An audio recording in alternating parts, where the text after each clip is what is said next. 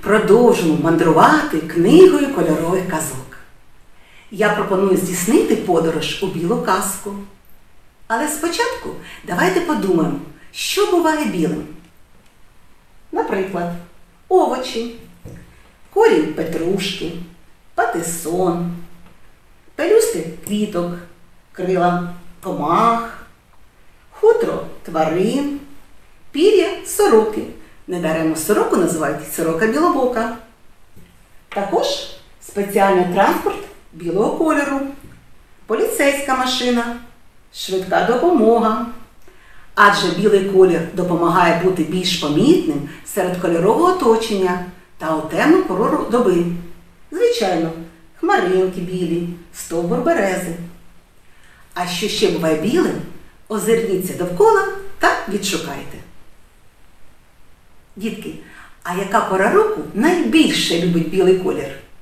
Так, звичайно, зима. Тому пропоную перенестися у холодну зиму. Помандруємо білою казкою.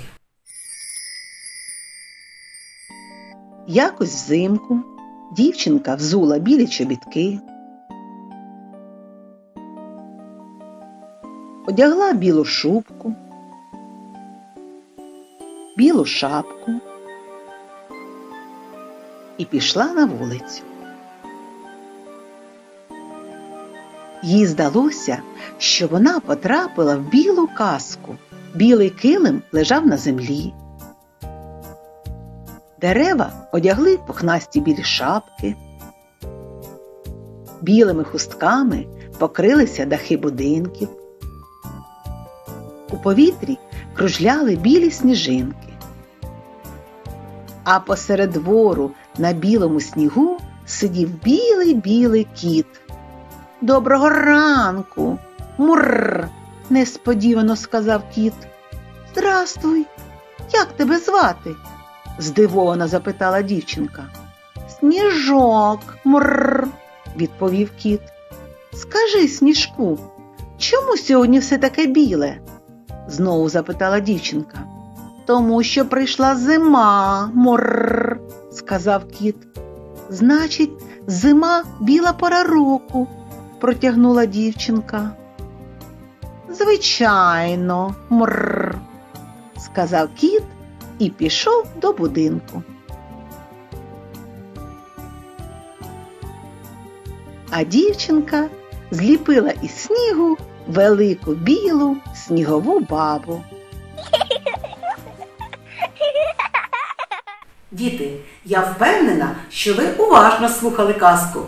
Тому скажіть, кого в ній не було? У нас є метелик, снігові замети, сніжинка. Кого не було? Звичайно, метелика.